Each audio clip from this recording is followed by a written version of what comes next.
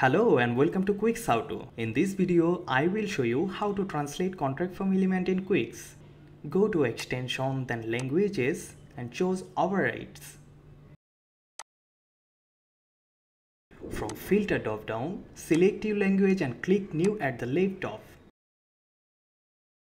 Paste the first line of code on the language constant field that is for your name. You can find the code in the following path or check in the video description. On the text field, put the translated text in your language. I am writing my language which is Bangla. Similarly, paste the second, third, fourth and fifth line of code on the language constant field and put the corresponding translated text in your language on the text field.